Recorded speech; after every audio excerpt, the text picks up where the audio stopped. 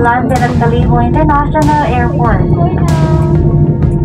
The time now is 27 minutes past the hour of 5 in the afternoon. For your safety, please remain seated with your seatbelt fastened until the seatbelt sign is switched off. Do take care when opening the overhead